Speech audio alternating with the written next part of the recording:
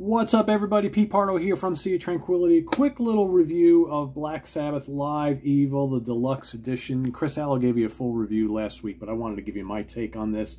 Having heard the remix back to back with the remaster of the original mix now a few times, I can definitely say the remix is the way to go.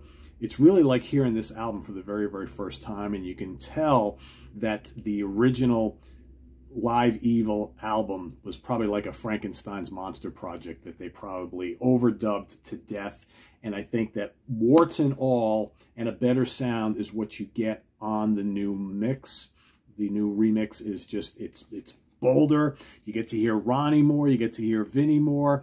I wish Tony's guitar was turned up just a little bit louder in the mix, but you get lots of Geezer and it just sounds great and it sounds like a real live album. That's my take, but go listen to it yourself.